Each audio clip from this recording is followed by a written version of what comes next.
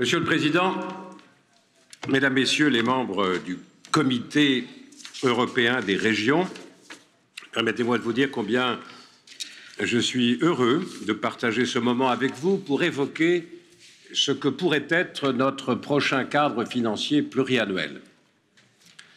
Je tiens à saluer en chacun d'entre vous, Mesdames et Messieurs, les représentants des régions dans la diversité des pays européens. C'est vous qui êtes au contact des réalités, c'est vous qui ressentez euh, les attentes, les préoccupations des citoyens européens. Et lorsque je m'interroge sur la capacité de l'Union européenne à parler aux Européens, je me dis que vous êtes sans doute euh, celles et ceux qui, compte tenu de votre proximité, proximité avec les citoyens et avec les territoires, êtes les mieux placés pour euh, écouter les attentes et faire passer les messages. Et c'est vrai que l'Union européenne a quelques difficultés pour parler aux Européens. Je voudrais vous dire que les relations que nous entretenons entre la Commission des budgets du Parlement européen et votre commission chargée de la cohésion territoriale et du budget, ces relations sont excellentes et qu'il y a eu un travail conjoint depuis des mois et des mois. Et je ne pourrais que encourager euh, votre, la présidente de votre commission, Madame Boudinot, à souligner à quel point les orientations prises par euh, la commission des budgets convergent avec les préoccupations exprimées par la commission dont elle a la charge. Je préside la commission des budgets et c'est vrai, Monsieur le Président, que le budget de l'Union européenne est un budget modeste, 1% du produit intérieur brut.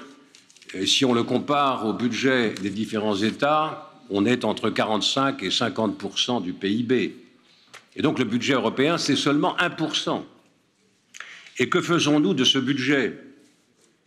À peine plus des deux tiers sont consacrés à la politique agricole commune et au fond de la politique de cohésion.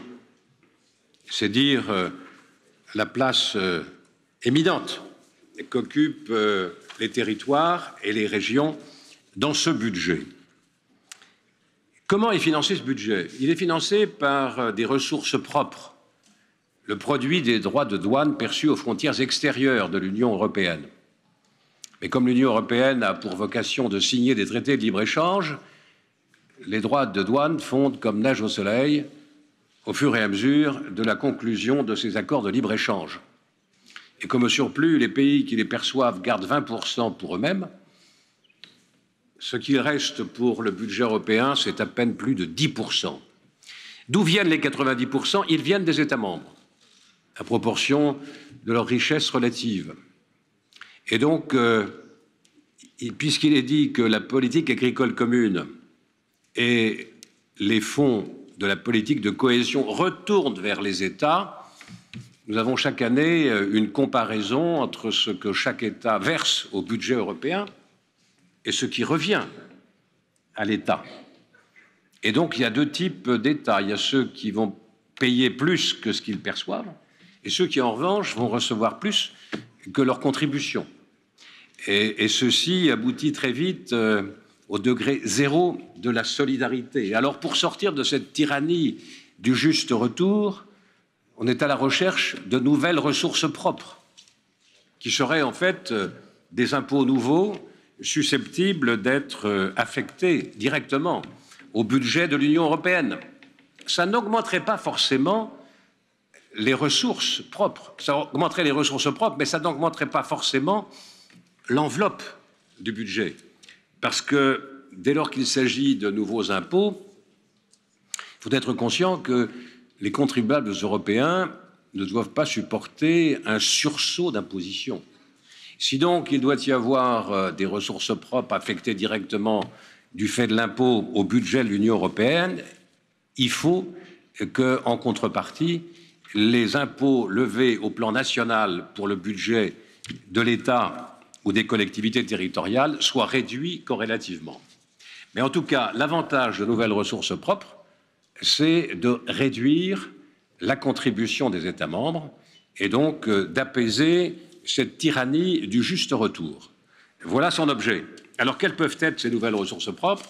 Il peut s'agir d'une taxe sur les transactions financières, comme ceci a souvent été évoqué, d'une taxe sur euh, le carbone aux frontières extérieures, il peut s'agir euh, d'une taxe sur les déchets, d'une quotité relative à l'impôt sur le bénéfice des sociétés commerciales, en étant conscient que 28 pays, c'est pratiquement 28 assiettes différentes et que chaque pays, chaque législation nationale a institué des abattements, des dégrèvements, des réductions qui compliquent singulièrement l'exercice. Donc il faudrait qu'il y ait une convergence des législations pour arriver à une assiette unique, mais en tout cas ce serait de sage politique qu'une fraction du produit de l'impôt sur les bénéfices des sociétés puisse être affectée directement au budget de l'Union européenne.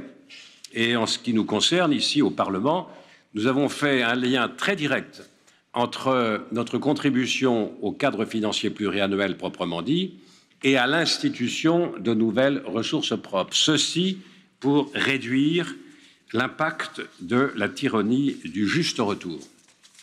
Ayant, dit cela, euh, l'exercice auquel nous nous livrons est un exercice compliqué. Nous avons euh, pris connaissance, comme vous, de la contribution de la Commission européenne, qui a été rendue publique au mois de mai 2018.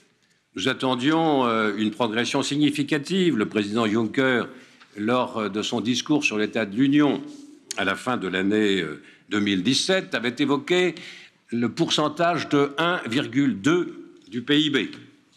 Et euh, ce que la Commission nous a proposé, c'est 1,11 avec un petit artifice, car euh, la Commission a agrégé au budget de l'Union européenne le Fonds européen de défense qui jusque-là n'apparaissait pas. Donc si on retire cette adjonction, on est dans une progression de 1,08 et non pas 1,20. Le Parlement a considéré que ça n'était pas euh, son souhait puisque nous avons fixé à 1,3 ce que devrait être le prochain budget dans le cadre du, cadre financier pluriannuel 2021-2027, en sachant que l'exercice sera compliqué par la possible sortie du Royaume-Uni. Je dis possible sortie parce que jusqu'il y a quelques semaines, on pouvait considérer que le Royaume-Uni sortirait de l'Union européenne, mais au train où vont les négociations, peut-être en saurons-nous plus ce soir ou dans les prochaines heures, il pourrait y avoir comme une prolongation, et la question est de savoir de quelle durée sera cette prolongation. On avait prévu dans le budget 2019 qu'il n'y aurait pas de crédit euh, au-delà du 31 mars euh, pour euh, les parlementaires britanniques et leurs collaborateurs d'ores et déjà, la Commission va devoir préparer un budget rectificatif pour une période qui, pour l'instant, reste indéterminée. Et puis, il faut intégrer dans ce nouveau cadre financier de nouvelles préoccupations. Le monde a changé. La mondialisation nous lance des défis sans précédent en matière de sécurité, en matière de défense, en matière de migration, en matière euh, d'économie numérique. Citez-moi un géant du numérique européen. Ils sont tous américains ou chinois.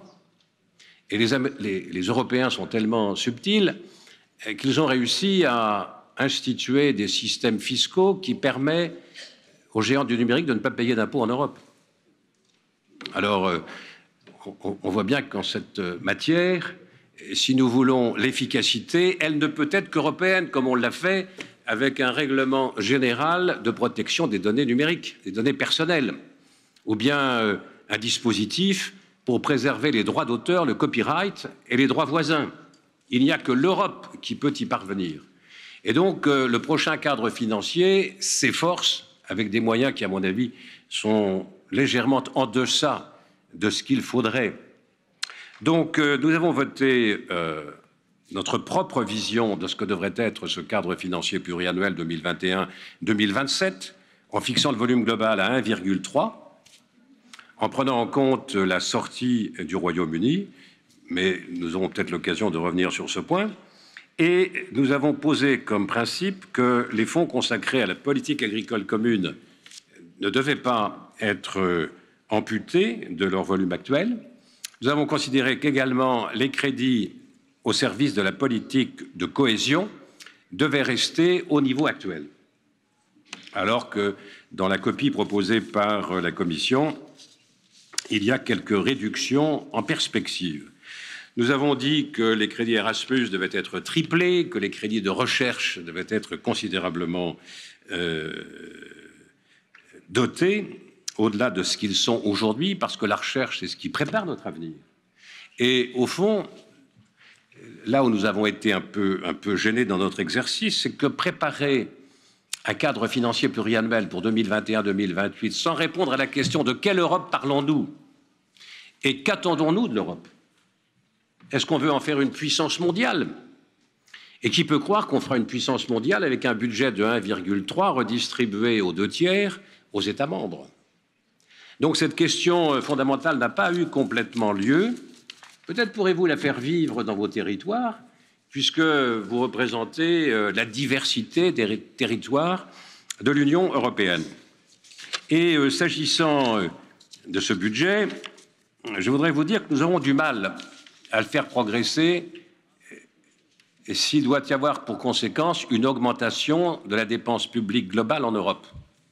Et la vraie question qui se pose, à mon avis, c'est d'essayer d'identifier quels sont les biens communs européens, c'est-à-dire euh, des actions de service public qui sont assumées aujourd'hui par les États membres, mais qui, du fait de la mondialisation, ne sont plus au niveau d'efficacité requis.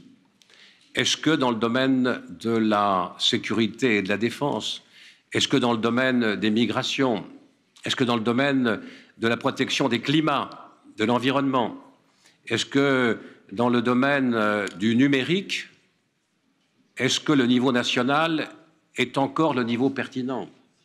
Et donc, euh, si on pense que l'action serait plus efficace au plan européen qu'au plan national, peut-être que l'heure est venue d'imaginer que des crédits dont l'efficacité n'est plus au niveau requis pourraient être soustraits des budgets nationaux pour être mis à la disposition du budget de l'Union européenne.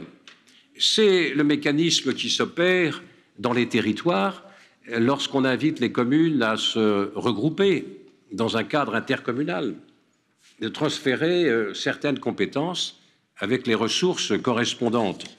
En tout cas, je pense que l'heure est venue de mettre en débat cette question.